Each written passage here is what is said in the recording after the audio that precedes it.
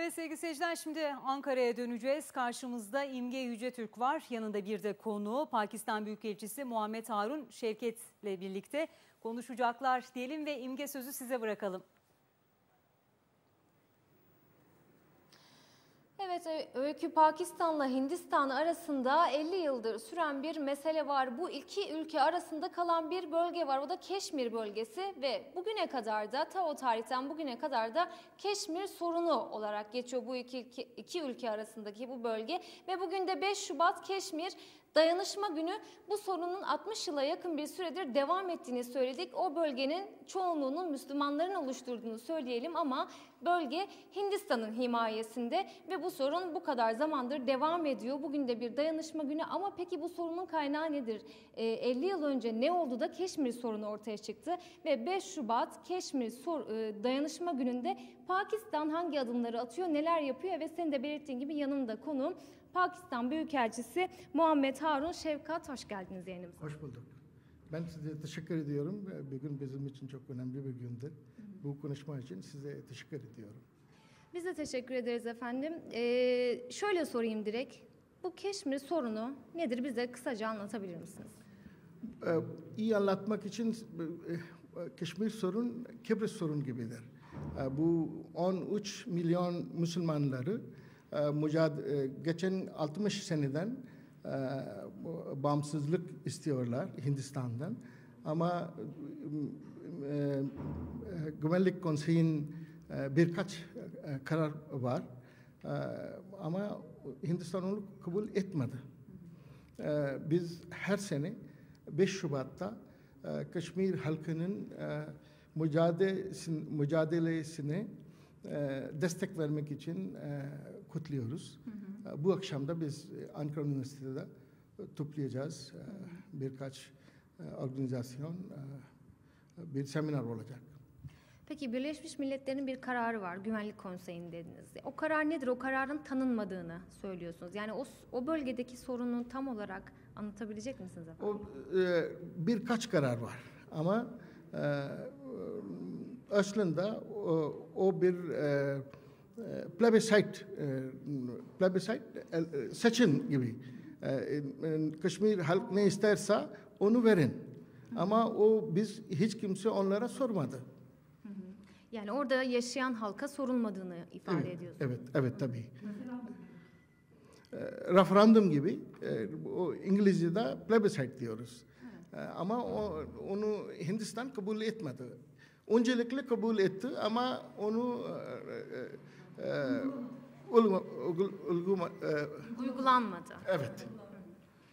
Peki e, bugüne kadar Pakistan hangi adımları attı bu sorunun çözülebilmesi için? Mesela siz neler yaptınız Pakistan olarak? Biz her zaman e, e, Kaşmir halka e, manevi, e, diplomatik ve e, e, manevi destek veriyoruz.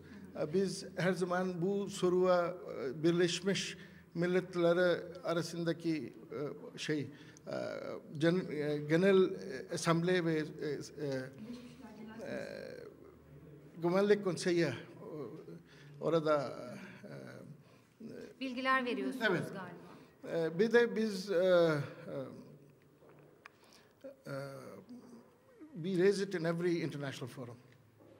Biz de e, Hindistan ile bizim bir diyalog proses var. Orada biz her zaman e, bunu çözmek, e, barışçıl, barışçıl e, çözüm istiyoruz ama Hindistan hiçbir şey yapmıyor. Yani şimdiye kadar bu diyalog adımları için sizin attığınız adımlara karşılık alamadığınızı. Evet, evet. Geçen 60 senede 100 binden fazla Keşmirler şehit olmuş. Bu çok büyük bir zulümdür bugündeki dünyada. Peki e, bugün dayanışma günü. Bugün ne, ne yapacaksınız yani oradaki halk için? Peki e, ikinci soru olarak da şunu sorayım. Oradaki halk e, neler yapıyor bu sorunu çözüm için? Onlar onlar devamlı e, barışçıl mücadele yapıyor.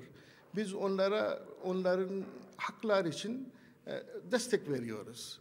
Diplomatik olarak, manevi olarak ve politik olarak. Dayanışma gününde neler yapıyorsunuz efendim? Ankara'da mesela bir seminer olacak bu akşam. Ee, o, o An- Ankara Üniversitesi'de. Ee, bu m, bu e, seminer sayesinde biz bizimki e, e, destek e, vereceğiz. O seminere Hindistan Büyükelçiliğinden de katılım olacak mı? Yok, yok. Sadece Türk halkın arkadaşlar. Türk arkadaşlar. Peki şunu sorayım. Siz eee, Türkiye'den beklentiniz var mıdır bu konuda, bu sorunun çözümü için? Tabii Türkiye Pakistan'ın ve Keşmir halkının çok iyi bir arkadaştır. O her zaman bize destek veriyor.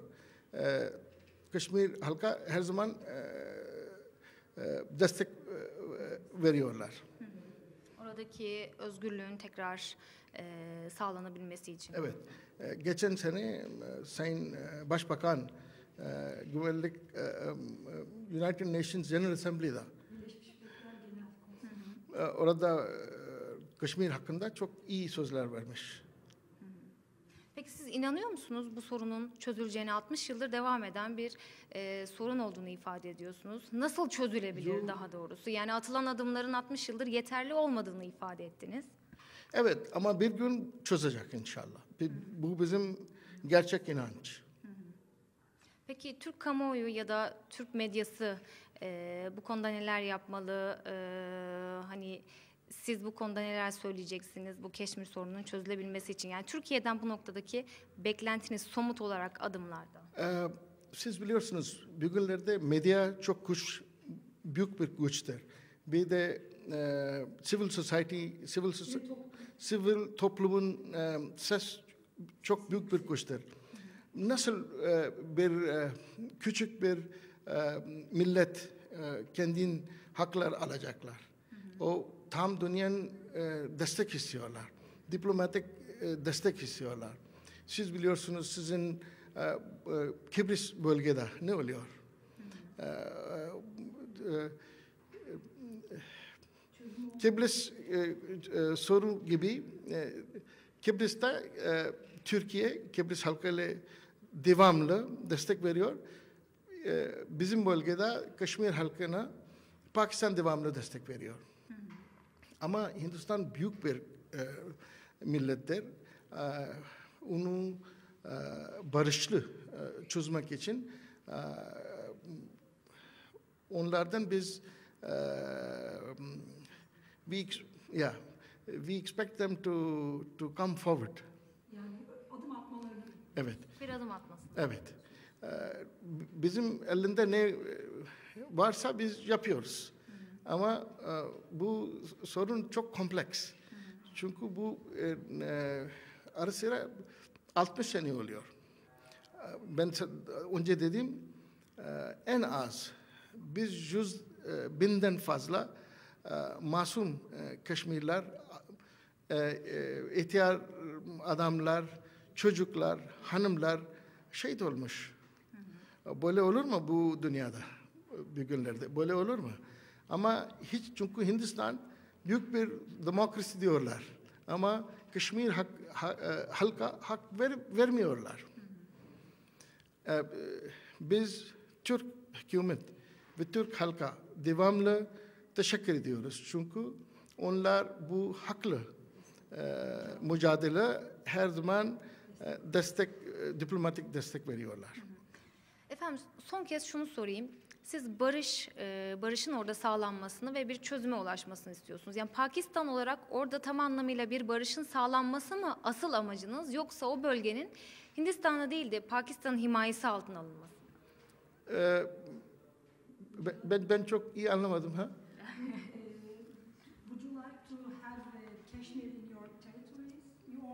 Bu bakın bu, bu e, e, e, Birleşmiş Milletler'deki e, Güvenlik Konseyi kararda o Kaşmir halka hak verdi veya Pakistan ile e, e, referandum e, Pakistan'a kabul edin veya Hindistan'a kabul edin.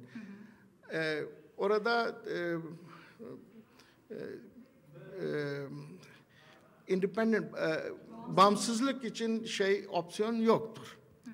veya Pakistan'ın e, şey e, become part of Pakistan Pakistan'ın bir kısmı yani bir toprağı olma ihtimali veya Hindistan'ın. yani Hindistan'ın halkı ama bu karar sadece Kashmir halk verecek.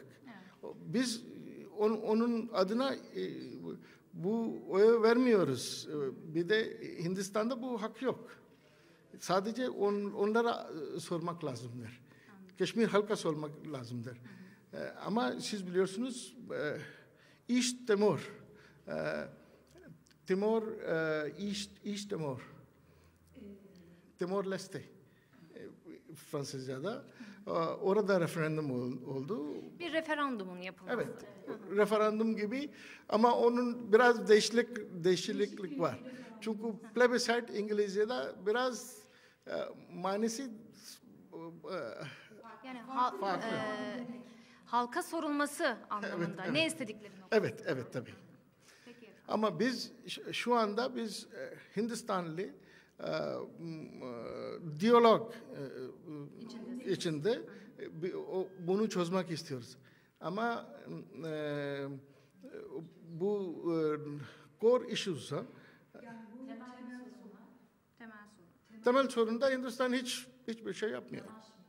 De- O diyor konuşalım ama hiçbir şey konuşmuyor. E, bu diyalogun manesi yok. Peki efendim. Teşekkür ediyoruz.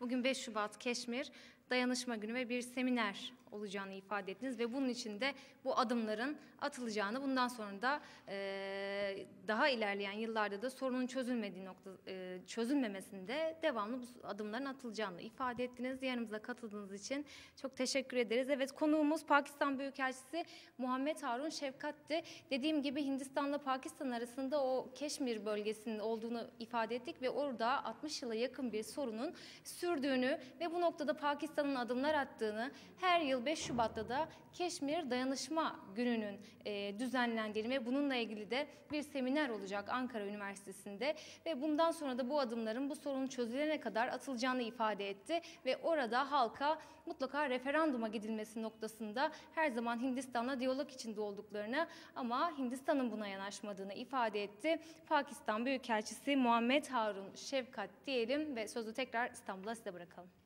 İmge teşekkür ediyoruz. Hem sana hem de konuğun Pakistan Büyükelçisi Muhammed Harun Şevkat'a. Evet sevgili seyirciler şimdi kısa bir ara vereceğiz.